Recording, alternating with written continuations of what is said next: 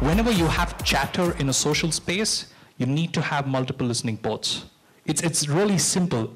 I mean, offline, online merge at some point in time. What happens when there's a huge crowd and people are talking in a crowd? What do you do? What is the first thing that you would do?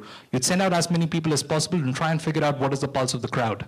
Good. I'm Preetham Venki. I'm the digital strategist and uh, the business head for KRDS here in Asia. Uh, we've been in Singapore for the past few months now. Actually, it's been close to half a year now. And uh, we're doing tremendously well in the region. And uh, a huge part of what KRDS does is that from 2010, we've been part of Facebook PMD program, which is the Preferred Marketing Developer Program.